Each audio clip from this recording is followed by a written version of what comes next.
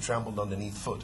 The church needs to reorient herself and take responsibility for her country, her community, and for her generation. And we have generally not done that because the doctrine of the church in the generation that I was brought up in was simply get born again and get fire insurance to go to heaven.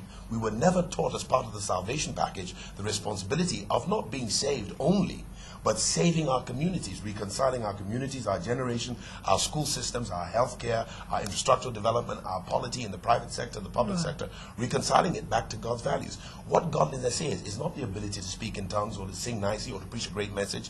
What godliness is, is basically equity and justice, righteousness and justice, without which there will be no genuine or sovereign peace. So how come I don't get to hear that? Oh, go, go. I just want to take Pastor off on this. Yes, Because, I mean, I'm, I'm, from, I'm on your side. Okay? She is Oh, too. thank you. no, no, she, you know, she knows what I mean because she takes me up on this all the time. And I'm mm. glad that there's someone here who can actually speak on behalf of the mm. church. Because Being I a pastor. care. Because, yeah, I know, I know it bothers you. We all care and we're looking for real solutions. What, what I We want to are. ask is this. You know, you said that um, the generation in which you grew up mm. didn't teach the church, I mean, didn't teach us beyond just getting a fire insurance to go to heaven. Are we doing better? I think that when I look across um, the flanks of the battlefield, when I look across at my, some of my friends like Sunday Adelaja, Tony Rapu, Wale Adefarasin, um, uh, just to mention a few, they are socially responsible. Their doctrine, their, their, their speech, their practice is socially responsible. They're taking care of the orphans, the widows, the drug addicts. They're rehabilitating our area boys, just as we are also. We're proffering um, um, methods to really tackle the issue of corruption in our country, in our community. We're looking at it very, very seriously. It's in a conversational dimension now, but it's quickly moving to a point where ultimately it will concert to the point where it becomes critical mass. And it will begin to shift things. But we need you. See, the church is too churchy. We need to be able to get out into the world, public lecture, speak truth to power, demonstrate um, the way things should probably be done. Let me say it in the words of Edmund Burke, British philosopher from I think the 20th or 19th century. He said the only thing necessary for evil to triumph for is, others is yeah. for good, Good men to do nothing. good men to do nothing. Right. Yeah, we've sat back and said nothing and done nothing and stayed in our Levitical enclave, Yeah. uh, whose ministry is defined purely within the four walls of the church. The, the real church, and there is a mixed multitude in church, but the real church needs to get out of the four walls and begin to say something and do something. That's why I'm here. Right. Now, talking about I'm just as sick as you are with the nonsense that's going, that's going on in our leadership scenario across the country at the level of the executive, the legislature, the judiciary, the police force, um, the local government, the state government. I'm sick to hell with it. the environment that we find ourselves as in Nigeria, we know the problems we have, poverty and all.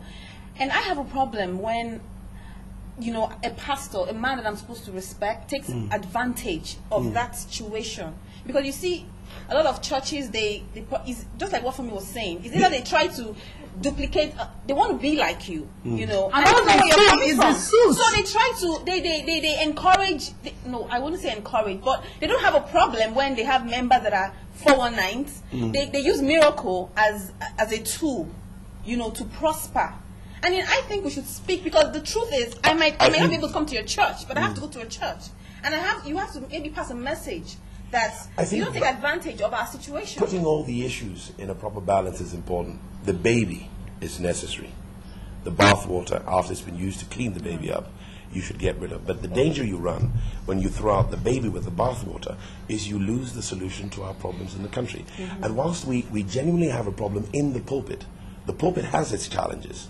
The, the, the pew has its challenges. Um, and as a result, we've legitimized a lot of the corruption that's going on in the country. And that needs to be addressed. And it is being addressed. And sooner or later, you will find that God will make a distinction between his real people, now they're not perfect, and um, those who have feigned that they represent him. And the difference will be made clear. It's not going to be far away from now. Yeah, because I used to wonder. I mean, my Bible, when I, uh, what, what my Bible says that you know the way is narrow, only is a few people can go. phrase. And I see this multitude of people. I mean, it's become about the numbers. At the end of the day, you're wondering, isn't there some commerce involved here? Because it should be difficult. Christianity It shouldn't. It shouldn't be difficult. Let me for say something. It's not Tommy, difficult. let for me, me. let me It jump, shouldn't, let be, me it, shouldn't jump be, on this be, one now. it shouldn't be something that everybody can do. I mean, everybody and their cousin says to me, Oh, I'm again. You know, they stick it in your face. And by the way, isn't your faith a personal thing?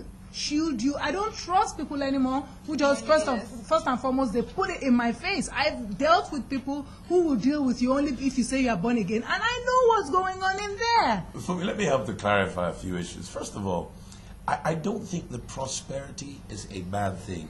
If you're going to be able to do good things for the country and good things in the country, you're going to need an awful lot of money. influence and affluence. I agree. I agree. Now, God does not have a problem with you or me or anybody having stuff, but He has a problem with stuff having you.